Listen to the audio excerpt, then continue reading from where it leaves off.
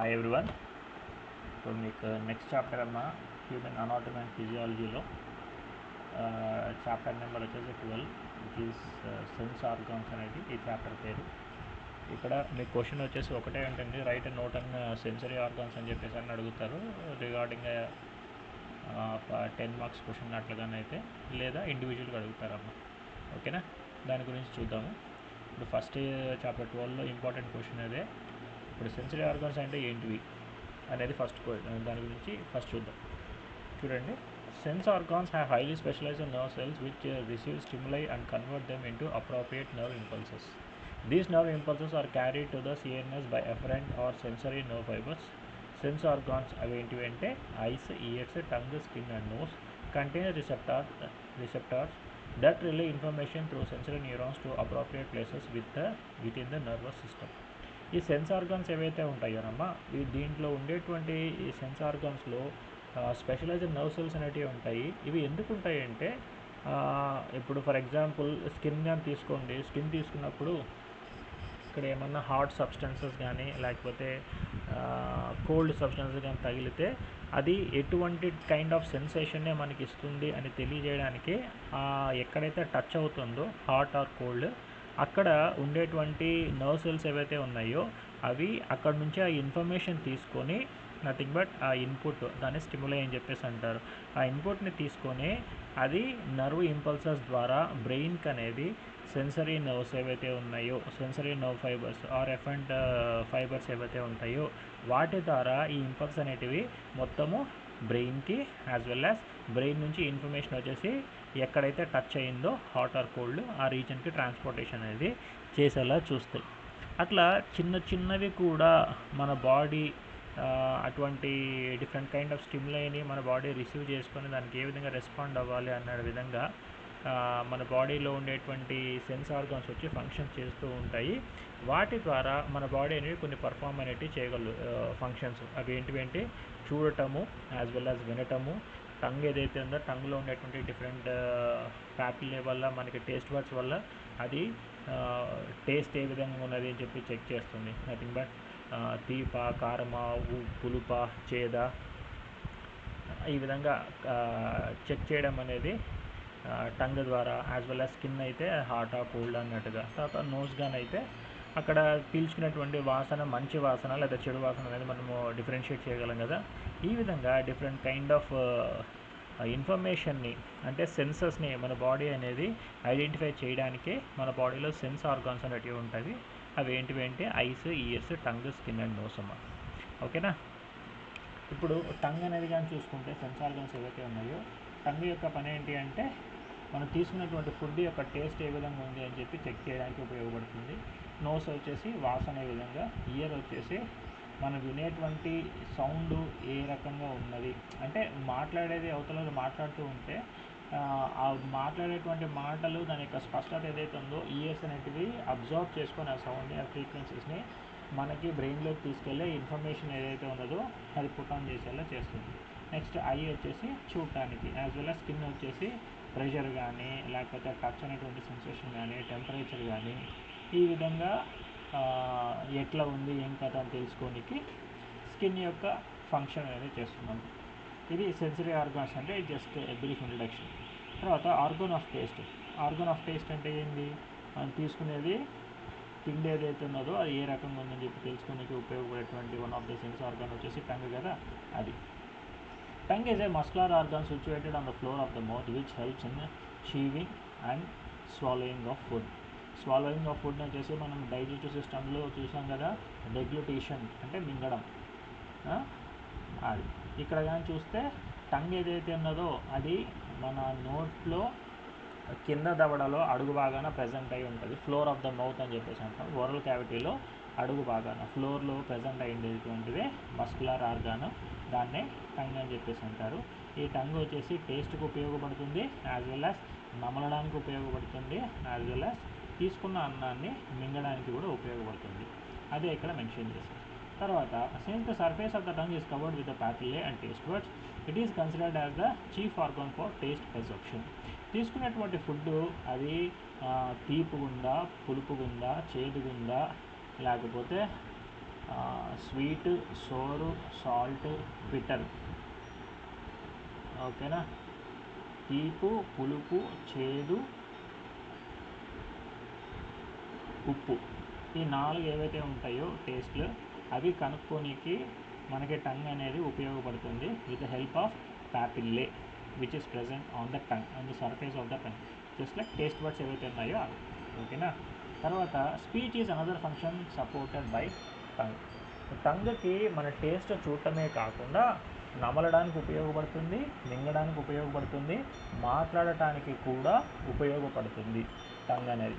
Tongue is a very sensitive organ which remains moisture moistened with the saliva tongue ఏదైతే ఉన్నదో అది ఎప్పుడు లోపల అంటే మన నోట్లో ఉన్నంత వరకు ఆ టంగ్ వచ్చేసి కంప్లీట్గా మాయిస్ట్గా ఉంటుంది. అంటే తేమ తేమగా ఉంటుంది. అది ఏ విధంగా తేమ తేమగా ఉంటుంది అంటే నోట్లో ఉండేటువంటి లాలాజలం ఎంగిలి వల్ల. ఓకేనా? ఇది కంప్లీట్ మస్కులర్ ఆర్గాన్ అమ్మ. తర్వాత a large amount of nerves and blood vessels intervene innervates the tongue thereby helping its thereby helping in its movement ఇది ఈ టంగ్ లోపల చాలా ఎక్కువ శాతము బ్లడ్ వెజల్స్ అనేవి ప్రజెంట్ అయి ఉండ ఉండడం వల్ల అక్కడ ఎక్కువ బ్లడ్ అనేది సప్లై అవుతూ ఉండడం వల్ల మాట్లాడటానికి అన్నం తినేటప్పుడు నమలటానికి తర్వాత మింగడానికి ఇటువంటి ఫంక్షన్స్ ఏవైతే ఉంటాయో అన్ని ఫంక్షన్స్ చేస్తూ ఉంటారు కాబట్టి టంగ్ అనేది దానికి బ్లడ్ వెజల్స్ బ్లడ్ సప్లై అనేది ఎక్కువగా ఉంటుంది. తర్వాత it is separated by V shaped groove which makes the terminal sulcus the dorsal layer upper surface of the tongue has two parts అనమాట the an oral part lying in the mouth anterior two third of the tongue and the pharyngeal part facing backward to the oropharynx posterior third of the tongue ఇప్పుడు tongue కానీ చూస్తే ఒకసారి tongue image చూద్దాం.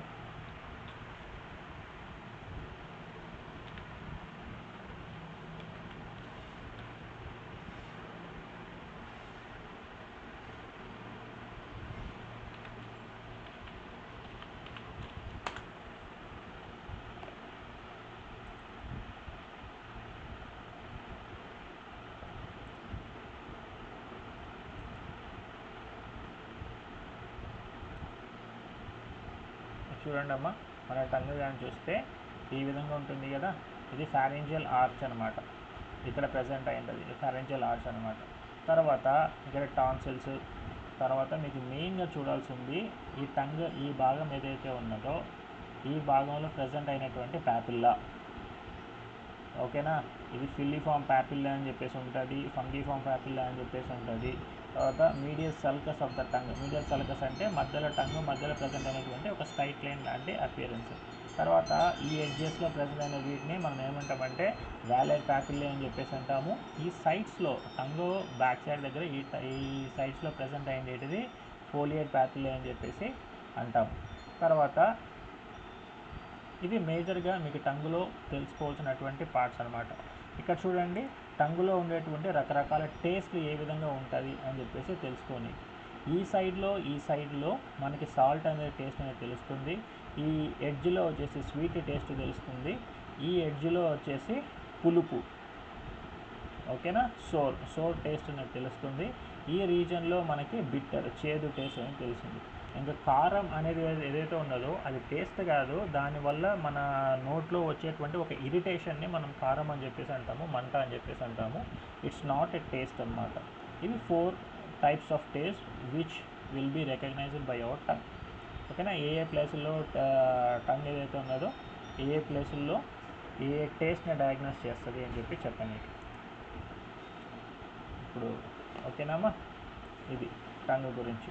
ఇది మీకు ఇందాక చెప్పిన విధంగా బ్యాక్ సైడ్ వచ్చేసి ఈ చిన్నగా ఉంది.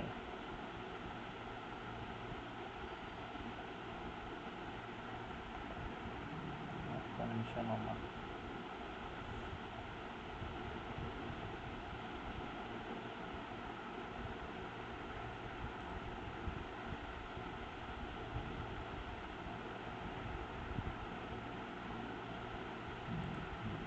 రైట్. చూసారమ్మా? ఇది టంగ్ ఏదైతే ఉన్నదో టంగ్ పైకి ఎత్తితే ఇక్కడ టంగ్ వచ్చేసి ఫ్లోర్ ఆఫ్ ద ఓరల్ క్యావిటీకి అటాచ్ అవ్వడానికి ఇక్కడ మధ్యలో ఒక లేయర్ లాగా ప్రజెంట్ అయి ఉంటుంది. దీన్ని మనం ఏమంటామంటే ఫ్రెనులం అని చెప్పేసి అంటాం. ఫ్రెనులం అని చెప్పేసి అంటారు ఈ టంగ్ బ్యాక్ సైడ్ వచ్చేసి ఓరో ఫ్యారింగ్స్ రీజియన్లో అటాచ్ అయి ఉంటుంది. ఫ్రంట్ సైడ్ వచ్చేసి ఫ్రీ ఉంటుంది. దాని యొక్క బాటమ్ వచ్చేసి కింద పక్క భాగంలో వచ్చేసి ఫ్రెనులం లింగ్వే అనే దాన్ని బేస్ చేసుకొని ఈ టంగ్ వచ్చేసి ఫ్లోర్ ఆఫ్ ద మౌత్కి అటాచ్ అయ్యి ఉంటుంది. ఈ కొండనాలికని ఉబులా అని చెప్పేసి అంటాం. ఓకేనా? ఇది మీరు గుర్తుపెట్టుకోవాల్సింది special related towards the tongue అయితే. ఓకేనమ్మా? Next anatomy and physiology supporting cell taste buds contain about four, uh, 40 supporting cells similar to the uh, uh, gustatoreceptors these cells are also spindle in shape but are non-sensory and holds the taste at their position supporting cells తర్వాత papillae papillae అంటే ఇందాక మీకు చూపించాను చూసారా ఇందాక మీకు ఇక్కడ చూపించాను చూసారా టంగ్ ఏదైతే ఉన్నదో దానిపైన ప్రజెంట్ అయినటువంటి ప్యాపిల్లే ఇదే సర్కం వైలెట్ ప్యాపిల్లే డార్సల్ సర్ఫేస్లో ప్రజెంట్ అయినటువంటి ప్యాపిల్లే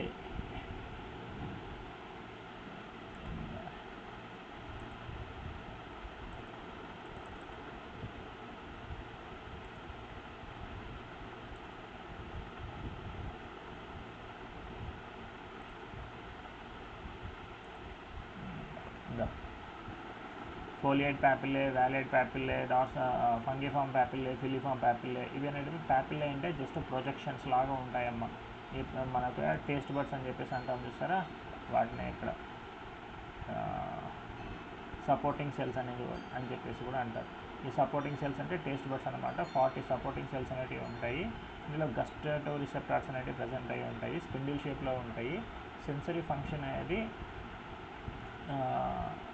నాన్ సెన్సరీ ఫంక్షన్ అనేటివి ఉంటాయి. తర్వాత టేస్ట్ కోసం ఉపయోగపడేలా ఉంటాయి. ఫంగిఫామ్ ప్యాపి ప్యాపిల్లే వచ్చేసి lingual papillae papillae nipple shaped or mound. Nipple shaped mound అంటే ఇది. నిప్పిల్ షేప్డ్ ఈ విధంగా ప్రజెంట్ అయి ఉంటాయి. ఓకేనా? Nipple shape mound or epithelial projection present on the upper surface of the tongue. ఇందాక చూసాం కదా అప్పర్ సైజ్ అప్పర్ సర్ఫేస్లో ప్రజెంట్ అయ్యిండేది అదే. ఇప్పుడు చూడండి three types of lingual papillae మనం ఇందాక ఇక్కడ చూసాం కదా ప్యాపిల్ వచ్చేసి త్రీ టైప్స్ ఉంటుంది ఫోలియేట్ వ్యాలేట్ ఫంగిఫామ్ ఫిలిఫామ్ ఉంటుందని చెప్పాము చూస్తారా అదే ఇక్కడ. ఫిలిఫాము ఫంగిఫాము సర్కమ్ వ్యాలెట్ ప్యాపిల్లే ఇక్కడ చూడండి ఫిలిఫామ్ అని చెప్పేసి అంటే థ్రెడ్ లైక్ స్ట్రక్చర్ అనేటివి ఉంటాయి. Tongue allows the movement of objects with in the mouth due to the friction produced by filiform papillae these papillae not contain a taste birds filiform ప్యాపిల్లలు వచ్చేసి taste birds అనేవి present అయ్యి ఉండవు. Fungiform papillae వచ్చేసి fungus mushrooms లాగా ఉంటాయి. ఈ small సైజులో ఉంటాయి. ఫైవ్ టేస్ట్ బర్డ్స్ అనేటివి దగ్గర దగ్గర ప్రజెంట్ అయ్యి ఉంటాయి. తర్వాత సర్కమ్ వ్యాలెట్ ప్యాపిల్లే వచ్చేసి సర్కమ్ మీన్స్ అరౌండ్ అనమాట అంటే గుండ్రంగా మొత్తంగా ప్రజెంట్ అయి ఉంటుంది. ఇక్కడ చూపిస్తాను చూడండి. సర్కమ్ వ్యాలెట్ ప్యాపిల్లే ఇక్కడ దీంట్లో మెన్షన్ చేయలేదు అనమాట ఓకే చూద్దాం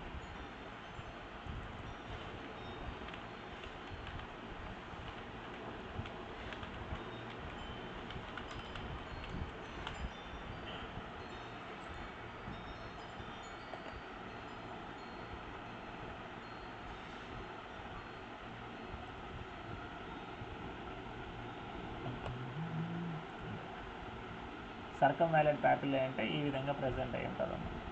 ఓకేనా? టంగ్ ఎడ్జ్ సైడ్లో బ్యాక్ సైడ్లో దగ్గర దగ్గర ఈ విధంగా ప్రజెంట్ అయి ఉంటుంది సర్కమ్ వ్యాలెడ్ ప్యాపిల్లే అంటారు ఓకేనా? These are the large sized cells and process around two hundred taste buds ఒక్కొక్క సర్కమ్ వ్యాలెడ్ ప్యాపిల్లే ఈ రీజన్ దగ్గర వచ్చేసి హండ్రెడ్ టేస్ట్ బర్డ్స్ వరకు ప్రజెంట్ అయి ఉంటుంది. They form V shape structure and the posterior margin వెనక పక్క టంగ్ యొక్క బ్యాక్ సైడ్ అంటే ఇది కదా ఈ పోస్టియర్ సైడ్లో వీ షేప్లో ప్రజెంట్ అయ్యి ఉంటాయి. ఇక్కడ వీ షేప్లో ప్రజెంట్ అయ్యి చూసారా? అట్లా వీ షేప్లో ప్రజెంట్ అయ్యి ఉంటాయి అని చెప్పేసి దాని అర్థం. Foliate papular these are present on each side of the tongue as short four to five vertical fold they size and shape is variable foliate foliate papillae appears as a series or red coloured leaf like ridges of mucosa అంటే ఇక్కడ ఈ foliate papillae వచ్చేసి ఈ సైడ్స్లో చూసాం చూసారా? ఇక్కడ చూడండి. ఈ సైడ్స్లో కనపడిన చూస్తారా? ఈ సైడ్స్లో ఈ విధంగా వర్టికల్ లైన్స్ లాగా. వీటిని ఫోలియేట్ ప్యాపిల్లే అని చెప్పేసి అంటారు. ఓకేనా? ఈ four to five vertical folds నాలుగు నుంచి ఐదు సార్లు ఇట్లా సైడ్స్కి ప్రజెంట్ అయి ఉంటుంది. తర్వాత ఫంక్షన్స్ కానీ చూస్తే టంగ్ యొక్క ఫంక్షన్ వచ్చేసి మీకు బాగా గుర్తుపెట్టుకోవాల్సింది ఒకటేనమ్మా.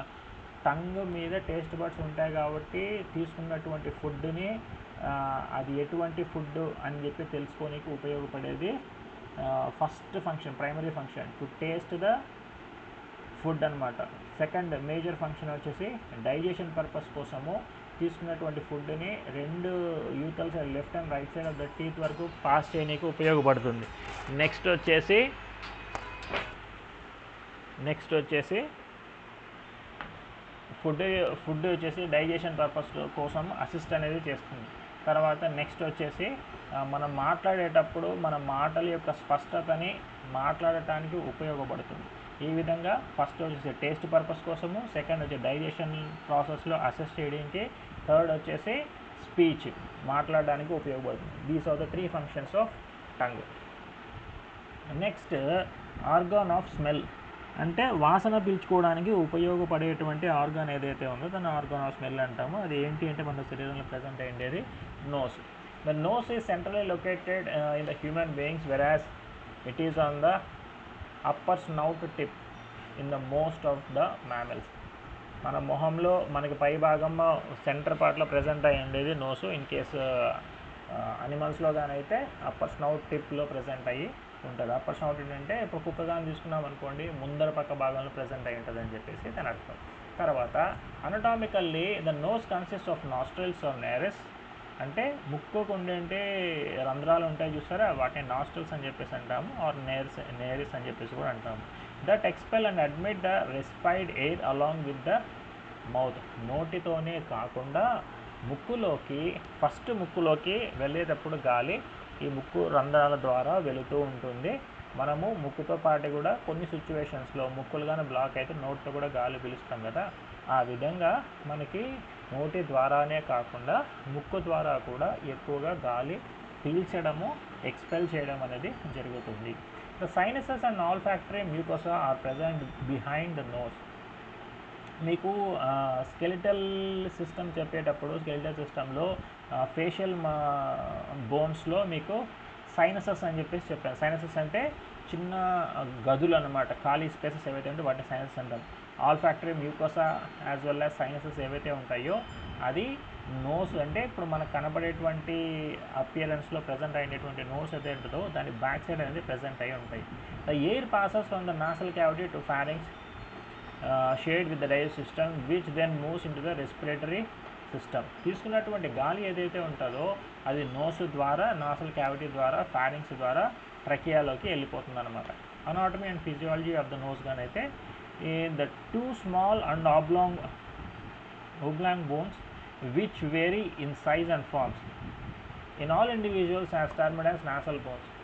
These are located at the middle and upper part of the face side by side and form the bridge of the nose at their junction. Each nasal bone consists of four borders and two surfaces.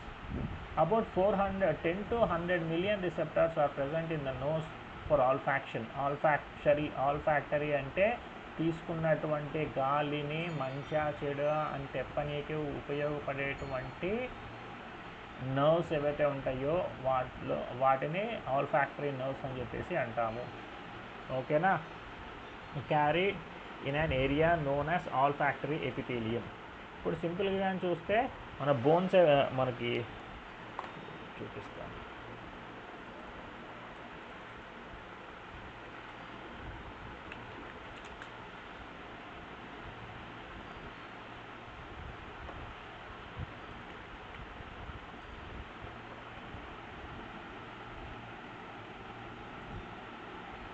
ఈ విధంగా no nose ఉంటుంది చూస్తారా? వీటిని external harass అంటే బయట ఉండేటువంటి రంధ్రాలు అనమాట ఇక్కడ ప్రజెంట్ అయినటువంటి ఈ రీజన్లో ప్రజెంట్ అయ్యేటువంటి ఈ ముక్కు భాగం ఈ ఫ్రంట్ భాగం ఏదైతే ఉండదో అది దేంతో తయారు చేయబడి ఉంటుంది అంటే అలార్ కార్టిలేజ్ అనే దాంట్లో తయారు చేయబడి ఉంటుంది. ఈ బ్యాక్ సైడ్ ఉండే దాన్ని వచ్చేసి లేటరల్ నాసల్ కార్టిలేజ్ అని చెప్పేసి అంటారు ఇక్కడ ఉండేది. తర్వాత ఇక్కడ మనకి లోపల పక్కన వచ్చేసి బోన్స్ అనేవి ప్రజెంట్ ఉంటాయి వీటి లోపల ఇక్కడ ఈ రీజన్లో మనకి బోన్స్ అనేవి ప్రజెంట్ అయి ఉంటాయి. ఇక్కడ చూడండి మీకు సైనస్ అనేది చూపిస్తారు ఇక్కడ. ఇక్కడ చూడండి మ్యాగ్జిల్లరీ సైనస్ సైనస్ అంటే మీకు స్పేసెస్ అని చెప్పి చెప్పాను కదా. మ్యాక్సిల్లరీ సైనస్ మ్యాక్సిల్లరీ అంటే మ్యాక్సిల్లరీ బోన్ ఏదైతే ఉంటుందో మ్యాక్సిల్లా అంటే ఫేషియల్ బోన్స్లో నాసల్ రీజన్లో ప్రజెంట్ అయినటువంటి ఈ బోన్ మ్యాక్సిల్లా బోన్ అని చెప్పేసి అంటామా? ఆ మ్యాక్సిల్లరీ రీజన్లో ప్రజెంట్ అయినటువంటి ఈ స్పేస్ని మ్యాక్సిల్లరీ సైనస్ అని చెప్పేసి అంటాం. ఈ విధంగా సైనసెస్ అనేటివి ఉంటాయి. ఇక్కడ అలర్ కార్టిలేజ్తో అనేటివి ఉంటాయి. ఇక్కడ మధ్యలో ఇక్కడ ప్రజెంట్ అయ్యే దాన్ని మనము సెప్టమ్ అని చెప్పేసి అంటాము. సెప్టమ్ టూ డిఫరెంట్ టైప్స్లో అంటే దాన్ని దీన్ని సపరేట్ చేయడానికి ఉపయోగపడుతుంది. ఈ ఎడ్జెస్లో ప్రజెంట్ అయ్యే దాన్ని వచ్చేసి ఎక్స్టర్నల్ నారేస్ అని చెప్పేసి అంటాము. లేకపోతే నాస్ట్రల్స్ అని చెప్పేసి అంటాము. ముక్కుడు యొక్క రంధ్రాలు. తర్వాత ఈ నోస్ యొక్క బ్యాక్ సైడ్లో వచ్చేసి మనకి ఓమర్ అనే బోన్ అనేది ఉంటుంది. తర్వాత మనకి ఫోర్ బార్డర్స్ అన్నమాట. నాసల్ బోన్ ఏదైతే ఉందో దానికి ఫోర్ బార్డర్స్ ఉంటాయి టూ సర్ఫేసెస్ అనేటివి ఉంటాయి. ఓకేనా అమ్మా? ఇక్కడ వచ్చేసి ఈ నర్వ్స్ కానీ చూ నోస్ కానీ చూసుకుంటే ఈ రీజియన్లో ఇక్కడ నుంచి ప్రజెంట్ అయినటువంటి ఈ రీజియన్లో మనకి ఏమేమి ప్రజెంట్ అయి ఉంటాయంటే nearly ten to hundred million receptors అనేవి ప్రజెంట్ అయి ఉంటాయమ్మా అన్ని రిసెప్టార్స్ ప్రజెంట్ అయి ఉండడం వల్ల ఆ ఎయిర్లో ప్రజెంట్ అయినటువంటి వేస్ట్ మెటీరియల్స్ ఏవైతే ఉంటాయో అంటే మన శరీరానికి ఉపయోగపడనటువంటి ఏవైతే ఉంటాయో వాటిని ఫిల్టర్ చేసేస్తూ అట్ ది సేమ్ టైం తీసుకునేటువంటి గాలి ఏదైతే ఉంటుందో ఆ గాలిని మనకి మంచిదా కాదా అని చెప్పనీకి ఇన్ఫర్మేషన్ పంపిణీకి ఆల్ ఫ్యాక్టరీ రిసెప్టార్స్ అనేటివి అక్కడ మనకి ఆల్ ఫ్యాక్టరీ ఎపిథీలియం ద్వారా ప్రజెంట్ అయ్యింది. దాని ద్వారా బ్రెయిన్కి అనేది ఇన్ఫర్మేషన్ అనేది పంపిస్తుంది తర్వాత బ్రె నోస్ యొక్క ఫంక్షన్ ఏంటి అంటే ఫస్ట్ వచ్చేసి తీసుకునేటువంటిది ఏదైతే ఉంటుందో గాలి అది మంచి గాల చెడు గాల అని మన మనకి మనం ఐడెంటిఫై చేసుకోవడానికి ఉపయోగపడేది స్మెల్ అనేటువంటి ఒక ఫంక్షన్. ఆ స్మెల్ అనేది ఫంక్షన్ చేస్తుంది. Next respiration. రెస్పిరేషన్ అంటే ఊపిరి పీల్చుకొని వదలడం. పీల్చడము వదలడము. ఈ పీల్చడాన్ని ఇన్స్పిరేషన్ అంటాము వదలడాన్ని ఎక్స్పైరేషన్ ఆర్ ఎక్సలేషన్ అని చెప్పేసి అంటాము. ఈ రెండు కలిస్తే ఒకసారి జరిపితే దాన్ని రెస్పిరేషన్ ప్రాసెస్ అని చెప్పేసి అంటాము ఆ రెస్పిరేషన్ ప్రాసెస్ చేయనీకి ఉపయోగపడుతుంది వాసన చూడనీకి ఉపయోగపడుతుంది. Air conditioning and detoxification air conditioning and detoxification అంటే ఏంటంటేనమ్మా మన ముక్కు లోపల తేమ అనేది ఉంటుంది కదా. వెంట్రుకలు ఉంటాయి యాజ్ వెల్ యాజ్ తేమ అనేది మ్యూకస్ సెక్రిషన్స్ అనేటివి ఉంటాయి. ఇక్కడ ఎయిర్ కండిషనింగ్ అంటే మనము ఒక వేడి ప్రాంతంలోకి వెళ్తే గాలి పీల్చుకున్నప్పుడు గాలిలో తేమ లేనప్పుడు పీల్చుకునేటువంటి గాలి దాని లోపల తేమ ఉండకపోవడం వల్ల వేడిగా ఉంటుంది. ఆ- అటువంటి గాలిని పీల్చినప్పుడు లోపలికి వెళ్ళిన తర్వాత ముక్కులోకి అక్కడ మ్యూకస్ సెక్రేషన్స్ అనేవి జరుగుతూ ఉండి అక్కడ తేమ పదార్థం అనేది ఉంటుంది కాబట్టి పీల్చినటువంటి వేడి గాలికి తేమ అనేది ఇచ్చి దాన్ని మన శరీరానికి అనుకూలంగా ఉండే విధంగా వాటర్ కంటెంట్ అంటే హ్యూమిడిటీ అనేది ప్రజెంట్ అయినటువంటి ఎయిర్ లాగా మార్చి ఎయిర్ని కండిషన్ చేసి మన శరీరానికి అందిస్తుంది. సెకండ్ థింగ్ డీటాక్సిఫికేషన్ అంటే తీసుకునేటువంటి గాలి ఏదైతే ఉంటుందో పీల్చేటువంటి గాలి దాని లోపల బ్యాక్టీరియా కానీ ఎనీ పార్టికల్స్ కానీ ఏవైతే ఉంటాయో వాటన్నిటిని ఫిల్టర్ చేయడానికి అక్కడ ప్రజెంట్ అయినటువంటి మ్యూకస్ సెక్రేషన్స్ అలాంగ్ విత్ ముక్కులో ప్రజెంట్ అయినటువంటి హెయిర్ వెంట్రుకలు వీటి ద్వారా మొత్తం అంతా ఫిల్టర్ చేసి మనకు కావాల్సినటువంటి మంచి గాలిని అనేది శరీరానికి అనేది అందిస్తుంది. నెక్స్ట్ ఇయర్ అమ్మ ఇయర్ ఏదైతే ఉందో థర్డ్ సెన్స్ ఆర్గాను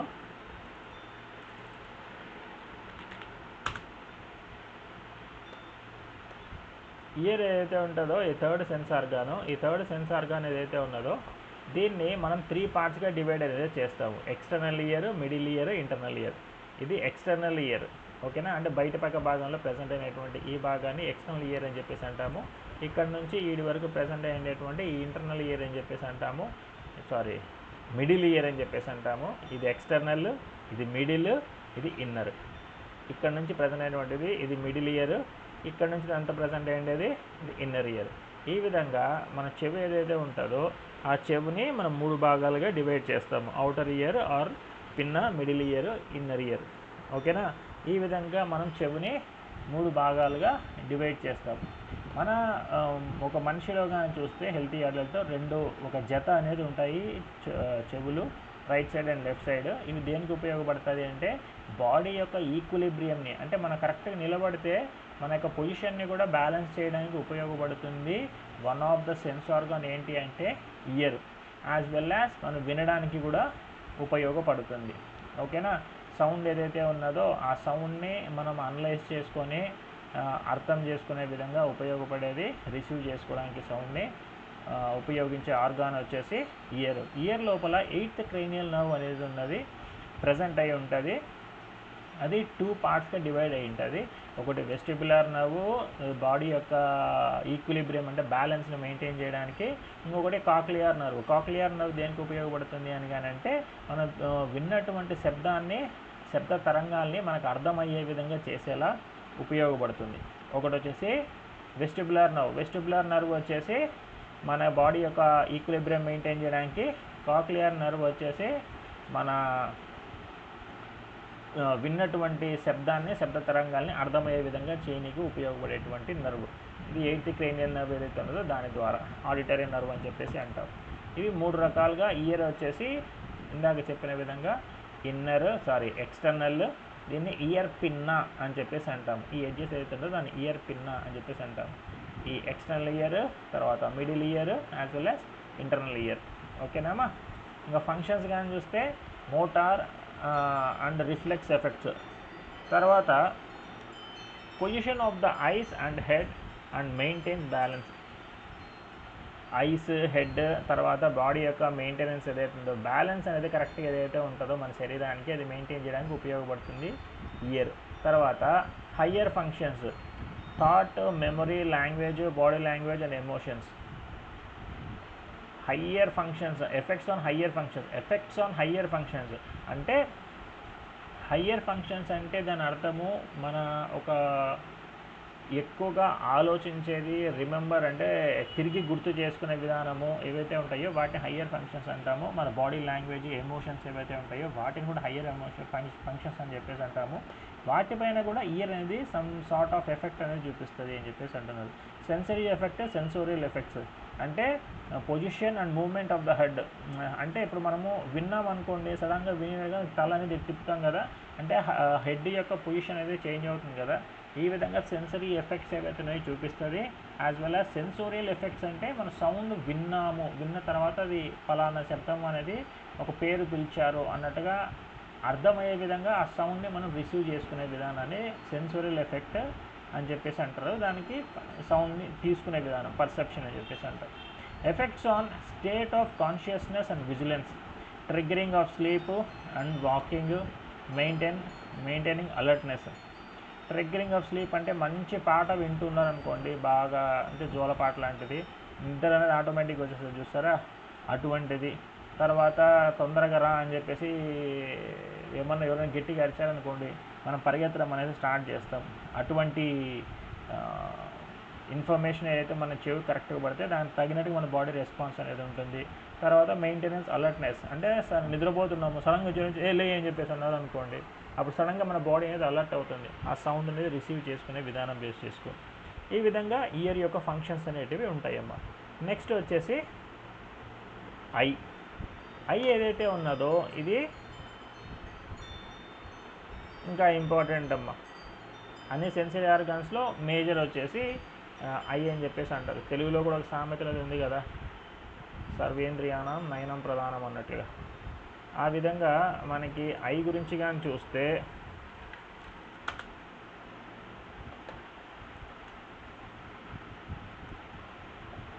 ఐ గురించి కానీ చూస్తే ఈ విధంగా ఉంటుందమ్మా Eyes are almost spherical in shape, having a diameter of 2.5 centimeters. They are situated in optical, sorry, orbital cavity, uh, receive sense of sight and are supplied by optic nerve or 11th, sorry, second, second cranial nerve.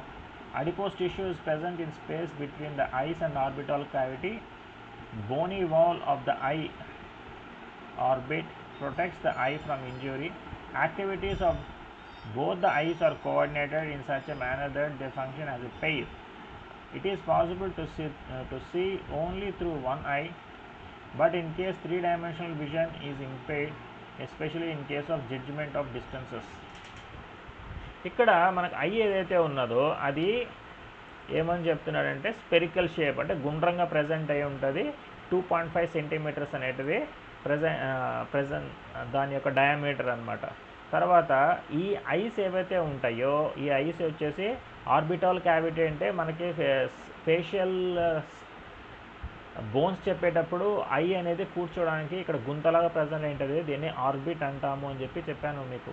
ఆ orbit రీజన్లో present అయినటువంటి organ ఏంటి? One of the sense organ అంటే eye correct ఖచ్చితంగా కూర్చునే విధంగా చేస్తుంది. ఐని ఐ బాల్ని ఆర్బిట్స్లో. At the same time eyes అనేది కరెక్ట్గా కూర్చోడానికి అక్కడ అడిపోస్ టిష్యూ అనేది కూడా హెల్ప్ అవుతుంది. తర్వాత ఐస్ వచ్చేసి లైట్ అనేది రిసీవ్ చేసుకొని అది ఇమేజ్ ఎందు మన శరీరానికి అర్థమయ్యేలా చేస్తుంది త్రూ సెకండ్ క్రేనియల్ నర్వ్స్ ద్వారా. తర్వాత బోనీ వాల్స్ అంటే బోనీ వాల్ అంటే ఏం లేదు ఆర్బిట్ అనమాట ఫేషియల్ స్కెలిటన్లో ప్రజెంట్ అయినటువంటి బోనీ వాల్ ఏదైతే ఉన్నదో దాన్ని ఐ ఆర్బిట్ అని చెప్పేసి అంటాము. ఇది ఐస్ని ఇంజురీ కాకుండా కాపాడుతుంది. తర్వాత రెండు ఐస్ ఏవైతే ఉంటాయో రెండు కళ్ళు వచ్చేసి ఒకేసారి కోఆర్డినేట్ అవుతూ ఉంటాయి. లెఫ్ట్ అన్నప్పుడు రెండు ఒకేసారి లెఫ్ట్ తిరగడం రైట్ అన్నప్పుడు రెండు ఒకేసారి రైట్ తిరగడము. ఈ విధంగా అటు ఇటు కోఆర్డినేట్ అవుతూ తిరుగుతూ ఉండడం వల్ల మన ఇమేజ్ అనేది చూడడానికి కరెక్ట్గా ఉపయోగపడుతుంది. తర్వాత it is possible to see through only one eye but in case three dimensional vision is impaired especially in case of judgement of distances. ఒక కన్నుతో కూడా చూడడానికి వీలవుతుంది. కాకపోతే త్రీ డైమెన్షనల్ విజన్ ఏదైతే ఉంటుందో దాంట్లో చూడడానికి మనకి వీలు పడదు. డిస్టెన్స్ ఏదైతే ఉన్నదో కరెక్ట్గా జడ్జ్ అనేది చేయలేమమ్మా. ఒక ఐతో కానీ చూడాలి అని కానీ అనుకుంటే. ఓకేనా? ఐస్ యొక్క ఫంక్షన్ కానీ చూసుకుంటే ఐస్ యొక్క ఫంక్షన్ వచ్చేసి మేజర్గా టూ ఫంక్షన్స్ అనేటివి ఉంటాయి. ఒకటి వచ్చేసి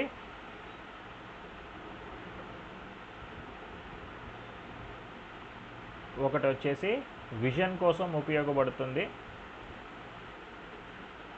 టూ ఫంక్షన్స్ కాదు బై మిస్టేక్ అక్కడ కొట్టారు ఒక ఫంక్షనే ఆ ఫంక్షన్ ఏంటి అంటే విజన్ కోసం ఉపయోగపడుతుంది. It is one of the most complex functions of human body it requires the cooperation of many small and intricate parts the functioning of human eye and camera eye similar camera ఏదైతే ఉంటుందో ఆ camera యొక్క functioning as well as మన eye యొక్క functioning రెండు సిమిలర్గానే ఉంటాయని చెప్పేసి దాని అర్థం. ఫోకస్ చేయడము లైట్ని కంటి లోపలికి ట్రాన్స్మిట్ చేసుకోవడము ఇమేజ్ని అండర్స్టాండ్ చేసుకోవడము సిన్న అనలైజ్ చేసుకోవడము అది ఏంది అని చెప్పేసి మనకు అర్థమై తిరిగి మళ్ళీ ఇన్ఫర్మేషన్ అయితే బయటికి పంపించేలా అంటే అర్థమై దాని తగ్గట్టు మనము బిహేవ్ చేసే విధంగా చేయనీకి ఫస్ట్ మనకు అక్కడ ఉండేటువంటి ఇమేజ్ ఏదైతే ఉందో మనకు కనపడనీకి ఉపయోగపడేటువంటి ఆర్గాన్ సెన్సరీ ఆర్గాన్ ఏదైతే ఉన్నదో అది eye. Light enters the eye through the cornea the clear front surface of the eye which acts as camera lens cornea అంటే ఇది. చూసారా? ఇది కార్నియా. ఈ కార్నియా పైన ఇన్ఫర్మేషన్ అనేది లైట్ అనేది ఇట్లా పడి ఇది లెన్స్ ఈ లెన్స్ ద్వారా పోయి ఇక్కడికి వెళ్ళిపోయి ఇక్కడ పడిన తర్వాత ఇన్ఫర్మేషన్ అనేది ఆ ఇమేజ్ ఏదైతే ఉన్నదో ఆ ఇమేజ్ అర్థం చేసుకొని ఇక్కడ ఉండేటువంటి నర్వ్స్ ఏదైతే ఉన్నదో ఆ నర్వ్స్ ద్వారా ఇక్కడ ఆప్టిక్ నర్వ్ అని చూస్తారా ఈ నర్వ్ ద్వారా ఇన్ఫర్మేషన్ అనేది బ్రెయిన్ కలిగి వెళ్ళిపోయి బ్రెయిన్లో ప్రజెంట్ అయినటువంటి ఐ సెంటర్లోకి వెళ్ళిపోయి ఐ సెంటర్లో అక్కడికి వెళ్ళిన తర్వాత ఆ ఇమేజ్ ఏంది అనలైజ్ చేసుకొని దానికి తగినట్టుగా మనము అర్థం చేసుకునే విధంగా చేస్తుంది. తర్వాత the iris of human the iris of the eye functions like diaphragm of the cornea diaphragm of the of a camera controlling the amount of light reaching the back of the eye by automatically adjusting the size of pupil which acts like an aperture in dark conditions the pupil widens while in bright conditions the it constricts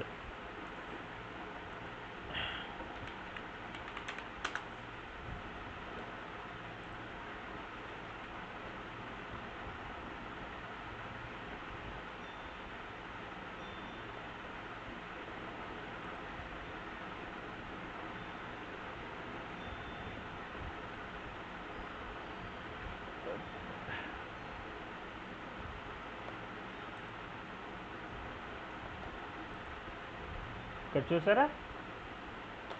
ఈ పార్ట్ని తెల్లగా గుడ్లో మనకు present అయినటువంటి తెల్లగా ఉండేటువంటి పార్ట్ని స్క్లీరా అని చెప్పేసి అంటాము. సో ఈ సర్క్యులర్ మజిల్స్ ఆఫ్ ఐరిస్ ఈ ఐరిస్ ఏదైతే ఉన్నదో దాంట్లో ప్రజెంట్ అయ్యేటువంటి సర్క్యులర్ మజిల్స్ ఇవి రేడియల్ మజిల్స్ సర్క్యులర్ అంటే రౌండ్గా ఉంటే రేడియల్ అంటే ఈ విధంగా నిలువుగా అనేది ఉంటాయి. ఈ ఐరిస్ పార్ట్లో ప్రజెంట్ అయ్యేటువంటి ఈ మజిల్స్ ఇవి మనము లైట్ ఎక్కువగా కలర్లో పడితే ఈ విధంగా క్లోజ్ అయిపోతుంది. తక్కువ కనబడితే ఈ విధంగా పెద్దగా తెరుచుకొని ఈ ఆ లైట్ అనేది కంట్లోకి ఎక్కువ ట్రాన్స్ఫర్ చేసుకొని ఈ బ్యాక్ సైడ్ ఉన్నది చూసారా? ఇక్కడికి ఇమేజ్ పడే విధంగా ఆ వెలుతురు కరెక్ట్గా ఈ బార్డర్లో బ్యాక్ సైడ్లో పడే విధంగా చూసుకొని ఇన్ఫర్మేషన్ అనేది ఆప్టిక్ నర్వ్ ద్వారా బ్రెయిన్కి అది ట్రాన్స్పోర్ట్ చేయడానికి ఉపయోగపడుతుంది. అది దాని యొక్క పని. తర్వాత the eye's crystalline lens located directly behind the pupil helps the eye automatically focus on near and approaching objects like and autofocus camera lens auto ఆటోఫోకస్లో camera lens ఏవైతే ఉంటాయో కెమెరాలో ప్రజెంట్ అయినటువంటి ఆటోఫోకస్ ఇమేజ్ని టక్కన అడ్జస్ట్ చేసుకున్నానికి ముందరికి వెనక్కి మూవ్ అవుతూ ఉంటుంది చూసారా కెమెరాలో లెన్స్ అదేవిధంగా మన ఐ ఏదైతే ఉన్నదో క్రిస్టలైన్ లెన్సెస్ ఏవైతే ఉంటాయో అడ్జస్ట్ చేసుకొని ఆ ఇమేజ్ అనేది కరెక్ట్గా ఉండే విధంగా మనం చెక్ చేసుకుంటుంది అనమాట the light then travels through the vitreous chamber a clear gel like substance that fills with that that fills the middle of the eye ఆ విటరస్ ఛాంబర్ అంటే ఇది ఈ భాగం. ఇక్కడ మెన్షన్ చేస్తారు చూడండి విటరస్ ఛాంబర్ అనేది. ఓకేనా? విటరస్ ఛాంబర్ అంటే ఇదమ్మా. ఇక్కడ మనకి జెల్ లాగా ప్రజెంట్ అయి ఉంటుందమ్మా. ఈ జెల్ ద్వారా అంటే జెల్ మిండ్ జెల్ మీదుగా లోపలికి వెళ్తుందన్నమాట ఇన్ఫర్మేషన్ ఓకేనా? అది దాని యొక్క కథ. తర్వాత then light then reaches the retina a sensitive inner lining of the back of the eye the retina acts like a camera film con converting optical images into electronic signals ఇందాక చెప్పాను కదా ఈ బ్యాక్ సైడ్లో ఉండేటువంటిది. ఇక్కడ ఎప్పుడైతే మనకి information అనేది ఈ విధంగా లైట్ ద్వారా ఇమేజ్ వచ్చేసి ఖచ్చితంగా ఇక్కడ బ్యాక్ సైడ్లో ఈ విధంగా పడిందో అప్పుడు ఆ ఇమేజ్ని ఎలక్ట్రిక్ ఇంపల్సెస్ లాగా మార్చేసి ఈ ఆప్టిక్ నర్వ్ అనేది ఆ ఇంపల్సెస్ తీసుకొని బ్రెయిన్కి అనేది వెళ్తుంది. అది వీడు చెప్పినటువంటి అర్థం ఇక్కడ. తర్వాత the image reflected on the retina is upside down ఎప్పుడైతే ఇమేజ్ ఏదైతే ఉన్నదో లైట్ వచ్చేసి ఇమే ఈ కంటి ద్వారా ఇక్కడికి వచ్చి ఈ దీని మీద పడుతుందో అది తిరగదిపించబడుతుంది. తిరగదించి పడిన తర్వాత ఆ ఇన్ఫర్మేషన్ అనేది లోపలికి తీసుకెళ్ళిపోయి అక్కడ మనకి అర్థమయ్యే విధంగా చేస్తుంది. ఓకేనా? అప్సైడ్ డౌన్లో పడుతుంది. The nerve the optic nerve transmit signals to visual cortex of the brain బ్రెయిన్లో కార్టెక్స్ అనే భాగంలో విజువల్ అంటే కంటికి సంబంధించినటువంటి ప్లేస్ని విజువల్ కార్టెక్స్ రీజన్ అని చెప్పేసి అంటారు. అక్కడికి వెళ్ళిన తర్వాత ఆ ఇమేజ్ వచ్చేసి తిరిగి నార్మల్ సైడ్కి అంటే మనకు తిరగతిపించబడింది అన్నాం కదా కంట్లో పడింది. ఆ కంట్లో పడినటువంటి తిరగతిపించిన ఇమేజ్ ఈ బ్రెయిన్లో ఈ రీజియన్లో విజువల్ కార్టెక్స్ రీజియన్లో నార్మల్గా తయారైపోయి అనలైజ్ చేసుకొని అర్థమయ్యేలా చేసుకుంటుంది. ఓకేనా? ఇమేజ్ లాగా అర్థమయ్యేలా చేస్తుంది. Production of tears tears from an important component for maintenance of vision as the tears as the tears produce uh, as the tears nourish and lubricate the surface of the eye and wash away debris as well. ఓకేనా eye యొక్క function ఏంటి అనగానంటే vision కోసం ఉపయోగపడుతుంది. తర్వాత ఐలో tears అనేవి ఎందుకు secret అవుతాయంటే కంటిని ఎప్పటికప్పుడు క్లీన్గా ఉంచుకోవడానికి ఏమన్నా పార్టికల్స్ కానీ కంట్లో పడితే వాటిని క్లియర్ చేసుకుంటూ ఉండడానికి ఫ్రీక్వెంట్గా ఐలో లిక్విడ్ ఏదైతే ఉంటుందో అది ప్రజెంట్ అయి ఉంటుంది. కాకపోతే ఎప్పుడన్నా ఏడ్చినప్పుడు ఆ ఏడ్చినప్పుడు వచ్చేటువంటి కన్నీళ్ళు ఏవైతే ఉంటాయో అది కంటిని ఇంకా బాగా శుభ్రపరిచేలా చేస్తుంది. ఇక్కడ మనకి లాక్రిమల్ శాక్ అని చెప్పేసి మీకు స్కెలిటల్ మజిల్స్ దాంట్లో ఫేషియల్ బోన్స్ చెప్పేటప్పుడు చెప్పాను. లాక్రిమల్ శాక్ లాక్రిమల్ శాక్ అని చెప్పేసి కన్ను ఏదైతే కనుగుడ్డు ఏదైతే ఉంటుందో దానికి ముక్కు రీజియన్లో సైడ్స్లో కన్నికి దగ్గర ఉండేటువంటి రీజియన్లో ప్రజెంట్ అయి ఉంటుంది లాక్రిమల్ శాక్ అని చెప్పి చెప్పాను అక్కడ స్టోర్ అయి ఉంటాయి కన్నీళ్ళు ఏడ్చినప్పుడు ఆ కన్నీళ్ళు వచ్చేసి కంటిలోకి రిలీజ్ అయిపోయి మన కంటిని శుభ్రపరిచేలా చేస్తుంది. ఓకేనా అమ్మా ఇది దాని కథ. నెక్స్ట్ ఆర్గాన్ వచ్చేసి సెన్సిటివ్ సెన్సరీ ఆర్గాన్ వచ్చేసి స్కిన్ అమ్మ. Skin is the largest organ of human body. మన శరీరం అంతటికి స్కిన్నే లార్జెస్ట్ ఆర్గాన్ అన్నమాట. It is also known as integument అందుకనే మనము స్కిన్ అని చెప్పేసి అంటాము లేదా ఇంటెగ్మెంటరీ సిస్టమ్ అని కూడా అంటారు. It has a surface area of one point eight metre square and comprises sixty percent sixteen percent of total body weight మన శరీరంలో ప్రజెంట్ అయినటువంటి చర్మం ఏదైతే ఉన్నదో దాని యొక్క టోటల్ సర్ఫేస్ ఏరియా వచ్చేసి one point eight metre square అనేది ఉంటుంది. దాని యొక్క వెయిట్ వచ్చేసి total body weight sixteen percent present అయి ఉంటుందమ్మా. స్కిన్ యొక్క మేజర్ ఫంక్షన్ ఏంటి అంటే ఫస్ట్ థింగ్ వచ్చేసి మన శరీరాన్ని ప్రొటెక్ట్ చేయడము. మన శరీరాన్ని బయట ఉండే వాతావరణానికి లోపల మన శరీరం లోపల ఉండేటువంటి ఆర్గన్స్ ఏవైతే ఉంటాయో వాటి నుండి వాటిని బయట ఉండేటువంటి external environ bar environment bar నుండి కాపాడడానికి ఫస్ట్ మనకి స్కిన్ అనేది ఉపయోగపడుతుంది. యాజ్ వెల్ యాజ్ మన బాడీలో నుంచి వేస్ట్ ఏవైతే ఉంటుందో ఆ వేస్ట్ చెమట రూపం ద్వారా మన బాడీ నుంచి బయటికి పంపించేలా చేస్తుంది. ఇది ఫస్ట్ వచ్చేసి ఒక బ్యారియర్ లాగా యాక్ట్ చేస్తుంది ఎక్స్టర్నల్ ఎన్విరాన్మెంట్కి బాడీలో ప్రజెంట్ అయినటువంటి ఇన్నర్ ఇన్నర్నల్ ఇంటర్నల్ ఎన్విరాన్మెంట్కి ఒక బ్యారియర్ లాగా పనిచేస్తుంది.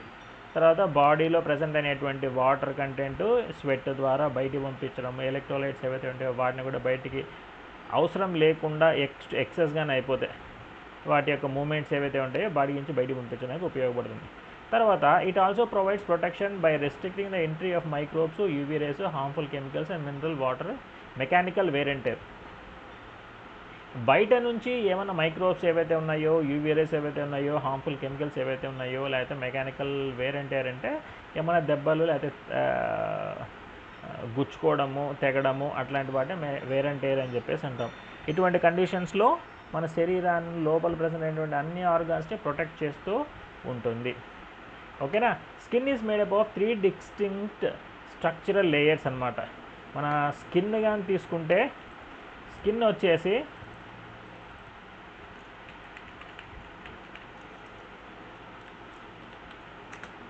స్కిన్ కానీ తీసుకుంటే స్కిన్ వచ్చేసి త్రీ డిఫరెంట్ లేయర్స్తో తయారు చేయబడి ఉంటుంది. ఒకటి వచ్చేసి డర్మీస్ ఒకటి వచ్చేసి ఎపిడర్మీస్ తర్వాత ఇంకోటి వచ్చేసి ఎండోడర్మీస్ చిన్న వస్తున్నాయి. రైట్ రైట్ ఇక్కడ చూడండి. Epidermis dermis hypodermis subcutaneous layer ఓకేనా హైపోడర్మిస్ అన్న ఎండోడర్మిస్ అన్న రెండు ఒకటేనమ్మా.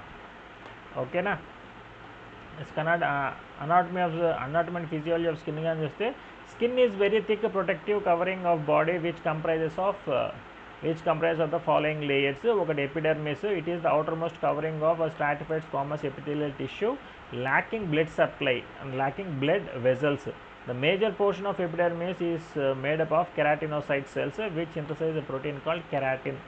ఓకేనా కెరాటిన్ అనే ప్రోటీన్ ఏదైతే ఉంటుందో ఆ ప్రోటీన్ వచ్చేసి ఎపిడర్మిస్ అనేటువంటి లేయర్లో ప్రజెంట్ అయి ఉంటుంది. ఇది uh, కెరాటినోసైట్స్ సెల్స్ ఏవైతే ఉంటాయో ఆ సెల్స్ వచ్చేసి అక్కడ ప్రజెంట్ అయి ఉంటాయి. ఈ కెరాటిన్ అనేటువంటి ప్రోటీన్ని సింథసైజ్ చేసి మెయింటైన్ చేసేలా ఈ ఎపిడెర్మిస్ అనేది ఉంటుంది. ఈ ఎపిడెర్మిసే స్కిన్లో ప్రజెంట్ అయినటువంటి లేయర్స్లో అవుటర్ లేయర్. దాని లోపల ప్రజెంట్ అయినటువంటి దాని కింద ప్రజెంట్ అయినటువంటి లేయర్ని డర్మిస్ అని చెప్పేసి అంటాము. దాని కింద ప్రజెంట్ అయ్యేదాన్ని హైపోడర్మిస్ ఆర్ ఎండోడర్మిస్ అని చెప్పేసి అంటారు. లేదా దాని కింద ఉండేటువంటిది వచ్చేసి సబ్క్యూటేనియస్ లేయర్ అని చెప్పేసి అంటారన్నమాట. These are the layers of skin అనమాట ఇక్కడ పైన ప్రజెంట్ అయినటువంటి హెయిర్ హెయిర్ ఫాలికల్స్ తర్వాత ఈ విధంగా ప్రజెంట్ అయ్యేదాన్ని స్వెట్ పోర్స్ అని చెప్పేసి అంటాము. తర్వాత బ్లడ్ వెజల్స్ సారీ నర్వ్స్ ఏవైతే ఉంటాయో ఆ నర్వ్స్ వచ్చేసి ఈ విధంగా ఉంటాయి. దీని కింద ప్రజెంట్ అయినట్టు వచ్చేసి బ్లడ్ వెజల్స్ ఆర్టరీస్ వెయిన్స్ ఏవైతే ఉన్నాయో అవి. ఈ రీజియన్ని మనం ఏమంటామంటే హెయిర్ బల్బ్ అని చెప్పేసి అంటాము. ఇక్కడ ప్రజెంట్ అయినదాన్ని స్వెట్ గ్లాండ్ అని చెప్పేసి అంటాము. ఈ గ్లాండ్లోనే మనకి వేస్ట్ మిగిలిపోయిన బ్లడ్లో నుంచి మిగిలిపోయినటువంటి వేస్ట్ వాటర్ కంటెంట్ ఉప్పగా ఉండేటువంటి వాటర్ కంటెంట్ ఏదైతే ఉన్నదో దాన్ని స్వెట్ అంటాం కదా ఆ స్వేదము ఆ చెమట ఏదైతే ఉన్నదో ఇక్కడ స్టోర్ అయి ఉంటుంది. ఇక్కడ నుంచి స్వెట్ పోర్స్ ద్వారా బయటికి అనేది వచ్చేస్తుంది. ఇది అడిపోస్ టిష్యూ అడిపోస్ టిష్యూ అంటే ఫ్యాట్ ఫ్యాట్ టిష్యూ ఏదైతే ఉన్నదో దాని అడిపోస్ టిష్యూ అని చెప్పేసి అంటాం తర్వాత ఫంక్షన్స్ ఏవైతే ఉన్నాయో ఆ స్కిన్ యొక్క ఫంక్షన్స్ కానీ చూస్తే ఫస్ట్ థింగ్ సెన్సేషన్. సెన్సేషన్ అంటే మనకి ఏమన్నా కానీ ఒక ఎవరన్నా కానీ చేయి పట్టుకున్నారు అనుకోండి చేయి పట్టుకున్నట్టుగా మనకు తెలుస్తుంది. ఆ తెలిసేటువంటి ఇన్ఫర్మేషన్ ఆ స్టిములై ఏదైతే ఉంటుందో దాన్ని సెన్సేషన్ అని చెప్పేసి అంటాం. ప్రొటెక్షన్. ప్రొటెక్షన్ అంటే బయట నుంచి వచ్చేటువంటి యూవీ రేస్ కానీ డీహైడ్రేషన్ కానీ మైక్రోబియల్ ఇన్వేషన్ కానీ ఫిజికల్గా ఏమైనా దెబ్బలు అట్లా కానీ ఏమన్నా అబ్జార్ప్షన్ లాంటివి ఏమన్నా అబ్జార్ప్షన్ అంటే పీల్చడము ఫిజికల్ అబ్జార్ప్షన్ అండి తప్పమ్మా ఈ పదం తప్పు కొట్టారు. ఫిజికల్గా ఏమైనా డ్యామేజ్ జరగడం అట్లా కానీ జరిగినా లోపల ఉండేటువంటి ఆర్గాన్స్ ఏవైతే ఉంటాయో వాటిని ప్రొటెక్ట్ చేస్తూ ఉంటుంది మనకి స్పర్శ ఏదైతే ఉన్నదో అది first thing nothing but sensation ఏదైతే ఉన్నదో అది మనకి తెలుస్తుంది. అది ఎటువంటి సెన్సేషన్ అంటే అదే వేడి కానీ చల్లగా కానీ ఎవరైనా తగిలినా కానీ ఏమన్నా ఒత్తిడి కానీ తర్వాత ఇటువంటి వాటిని మనం తెలుసుకోగలం ఎందుకంటే మనకి చర్మం లోపల రిసెప్టార్స్ అనేవి సెన్సరీ రిసెప్టార్స్ నర్వ్ ఎండింగ్స్ ద్వారా ఉంటాయి. అక్కడ నుంచి బ్రెయిన్లోకి వెళ్ళిపోయి నర్వ్స్ ద్వారా ఇన్ఫర్మేషన్ అనేది అక్కడ టచ్ అయ్యారు అన్నటువంటి సెన్సేషన్ అనేది తెలుస్తుంది. ప్రొటెక్షన్ అంటే ఇంటర్నల్ ఆర్గాన్స్ ప్రొటెక్ట్ చేయడానికి. థర్మో రెగ్యులేషన్ అంటే బాడీ లోపల ప్రజెంట్ అయ్యేటువంటి టెంపరేచర్ని కంట్రోల్ చేసేది కంట్రోల్ చేసే విధానాన్ని థర్మో రెగ్యులేషన్ అని చెప్పేసి అంటాం. థర్మో అంటే హీట్ రెగ్యులేషన్ అంటే ఆ వేడిని కరెక్ట్గా మెయింటైన్ చేస్తూ ఉండే విధానాన్ని రెగ్యులేషన్ అని చెప్పేసి అంటాము. ఈ ఇది మెయింటైన్ చేసేది వచ్చేసి మన స్కిన్ ఏ విధంగా మెయింటైన్ చేస్తుంది అంటే బయట వాతావరణం వచ్చి చాలా చల్లగా ఉందనుకోండి మనం అప్పుడు ఏం చేస్తుందంటే బాడీ లోపల టెంపరేచర్ని ఇంక్రీజ్ చేసే విధంగా అంటే ఎక్కువ చెమట అనేది బయటికి పోకుండా అక్కడే ఆపేసి లోపల ఉండే విధంగానే చూసేసి మన స్కిన్ ఏదైతే ఉంటుందో అది వచ్చేసి బాడీలో బ్లడ్ అనేది అట్లే సర్క్యులేట్ అవుతూ టెంపరేచర్ అనేది మెయింటైన్ ఇంకా ఎక్కువ చేసే విధంగా చూసుకొని బయట ఉన్నటువంటి వాత వాతావరణం కోల్డ్ వాతావరణం కూడా మన శరీరం తట్టుకునే విధంగా చేస్తుంది. అట్ ది సేమ్ టైం ఎక్కువ ఎండాకాలంలో లోపల ఉన్న టెంపరేచర్ తగ్గించనీకి ఆ లో లోపల ఉండే బ్లడ్లో ప్రజెంట్ అయినటువంటి ఎక్స్ట్రా వాటర్ని చెమట రూపంగా బయటికి పంపించేస్తే చెమట ఎప్పుడైతే బయటికి వెళ్ళిపోతుందో బయట ఉండేటువంటి గాలి ఆ వాటర్కి తగిలి చర్మం అనేది కూల్ అయ్యి లోపల ఉండే వేడిని కూడా తగ్గించడం అనేది చేస్తుంది. ఈ విధంగా బాడీలో ఉన్నటువంటి టెంపరేచర్ని కంట్రోల్ చేస్తుంది. తర్వాత ఇమ్యూనిటీ అంటే immunological func information obtained during antigen processing to the appropriate effector cells in the lymphatic tissues immunologic అంటే ఇమ్యూనిటీ ఫంక్షన్స్లో కూడా స్కిన్ అనేది ఉపయోగపడుతుంది. లింఫాటిక్ టిష్యూస్ ఏవైతే ఉంటాయో ఆ ఖచ్చితంగా ఆ లింఫాటిక్ టిష్యూస్లో ప్రజెంట్ అయినటువంటి ఎఫెక్టార్ సెల్స్ని యాంటీజెన్ ద్వారా యాంటీజెన్ని ప్రాసెస్ చేస్తూ అక్కడ మనకి అది ఎటువంటి యాంటీజెన్ దాన్ని ఏ విధంగా కంట్రోల్ చేయాలి అనేటువంటి ఫంక్షను లింఫాటిక్ టిష్యూస్ ద్వారా ఇమ్యూనిటీలో తోడ్పడుతుంది. ఏదంటే స్కిన్ తర్వాత ఎక్స్క్రీషన్ ఎక్స్క్రీషన్ అంటే ఏందమ్మా? బయటికి వదిలేయడము. ఆ వదిలేయడం అనేది చెమట ద్వారా వదిలేస్తుంది. టాక్సిక్ సబ్స్టెన్స్ని అయాన్స్ని ఏవైతే ఉంటాయో వాటి నుండి వదిలేస్తాయి. బ్లడ్ రిజర్వాయర్ బ్లడ్ రిజర్వాయర్ ఎందుకు అంటున్నామంటే డర్మిస్ అంటే అవుటర్ లేయర్ ఏదైతే ఉన్నదో అక్కడ ఎక్కువ వాస్కులరైజర్ అంటే వాస్కులేచర్ అంటే సప్లై అనమాట బ్లడ్ సప్లై లాంటిది ఎక్కువగా ఉండడం వల్ల blood vessels in the skin carry eight to ten percent of total blood volume. స్కిన్లో present అయినటువంటి బ్లడ్ వెజల్స్ ఏవైతే ఉంటాయో అది టోటల్ బ్లడ్లో ఎయిట్ టు టెన్ పర్సెంట్ అనేది దానికి బ్లడ్ సప్లై జరుగుతూ ఉండడం వల్ల అట్ ది సేమ్ టైం విగరస్గా ఎక్సర్సైజ్ ఏవైతే ఉంటాయో అటుగా చేసినప్పుడు బ్లడ్ ఫ్లో అనేది ఇంక్రీజ్ అవుతూ ఉండడం వల్ల బాడీలో ఉండేటువంటి ఎక్స్ట్రా హీట్ని తీసేయడం అనేది చేసేసి మన బాడీలో బ్లడ్ని కరెక్ట్గా మెయింటైన్ చేసేలా చేస్తుంది. ఓకేనా drug delivery route drug delivery route అంటే ప్యాచెస్ అనేటివి కొన్ని వస్తాయి. ఇప్పుడు సింపుల్గా చిన్నపిల్లలకి ఏమైనా దెబ్బగా తగిలితే హ్యాండీ ప్లాస్ట్ అని చెప్పేసి ఒకటి వేస్తారు. హ్యాండ్స్ ఆ ప్లాస్టర్ హ్యాండీ ప్లాస్ట్ అనేటివి వేస్తారు. అవి వేయడం వల్ల స్కిన్ ద్వారా అక్కడ పడినటువంటి స్కిన్కి ఏదైతే అయినటువంటి గాయం ఏదైతే ఉంటుందో దాని ద్వారా మనం ఏదైతే ఉన్నదో ఆ స్కిన్ పైన వేసినటువంటి ప్లాస్టర్ ద్వారా డ్రగ్ వచ్చేసి ఎక్కడైతే దెబ్బ తగిలిందో స్కిన్కి అక్కడికి లోపలికి వెళ్ళిపోయి అక్కడ ట్రీట్మెంట్ చేసే విధంగా ఉపయోగపడుతుంది. ఇది జస్ట్ ఎగ్జాంపుల్. ఇంకా అడ్వాన్స్డ్ రూట్లో ఇప్పుడు ఉండేటువంటి అప్రోచెస్ లాగా డిఫరెంట్ డిఫరెంట్ అప్రోచెస్ ఏవైతే ఉన్నాయో వాటి ద్వారా కానీ వెళ్తే ఈ స్కిన్ ద్వారా మన డ్రగ్ అనేది బాడీలోకి రిలీజ్ చేసేసి షుగర్ని కంట్రోల్ చేయడానికి ఉపయోగపడేటువంటి ప్యాచెస్ అనేటివి యూజ్ చేస్తాం. అది దాని యొక్క డ్రగ్ డెలివరీ రూట్. తర్వాత endocrine function skin helps in biosynthesis of vitamin D ultraviolet light is essential for first stage of vitamin D formation ఇక్కడ ఎండోక్రైనింగ్ ఫంక్షన్ ఏంటి అంటే మన శరీరంలో ప్రజెంట్ అయినటువంటి వైటమిన్ డి డి యొక్క సింథసిస్ ఫంక్షన్ కోసం ఉపయోగపడేటువంటిది one of the organ major organ ఏంటి అంటే స్కిన్ దీన్ని ఎండోక్రైన్ ఫంక్షన్ అని చెప్పేసి కూడా అంటారు. ఎందుకంటే ఇప్పుడు మనకి సూర్యుడిలోకి కానీ వెళ్ళామనుకోండి సూర్యుడిలోకి వెళ్ళడం అంటే ఉదయాన్నే సూర్యుడు అస్తమించడం ఉదయించేటప్పుడు అస్తమించేటప్పుడు సూర్యుడికి ఎక్స్పోజ్ అయితే డి విటమిన్ వస్తుంది డి విటమిన్ వస్తుంది అని అంటారు కదా. అది ఏంటి అంటే యాక్చువల్గా మన శరీరం లోపల స్కిన్ కిందనే డి విటమిన్ అనేది ఉంటుంది. ఎప్పుడైతే మనము ఉదయించే సూర్యుడు అస్తమించే సూర్యుడు ఎప్పుడైతే ఉంటారో వాళ్ళకి కానీ ఎక్స్పోజ్ అయినప్పుడు అప్పుడు ఏమవుతుందంటే ఆ ఉదయించే సూర్యుడు అదే అస్తమించే సూర్యుడు ఎర్రగా ఉంటారు కదా.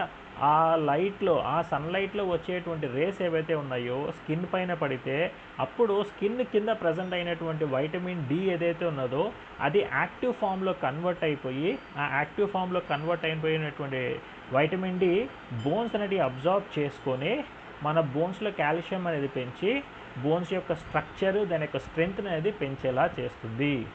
ఓకేనా? ఇది స్కిన్ యొక్క ఫంక్షన్ అమ్మ. These are the functions of skin ఈ విధంగా మనము స్కిన్ గురించి చూసాము ఐ గురించి చూసాము తర్వాత ఇయర్ గురించి చూసాము తర్వాత నోస్ గురించి చూసాము తర్వాత టంగ్ గురించి చూసాము. These are the five sensory organs in our body ఇది chapter number twelve ఇంతేనమ్మా. If you have any kind of queries ping me on WhatsApp right thank you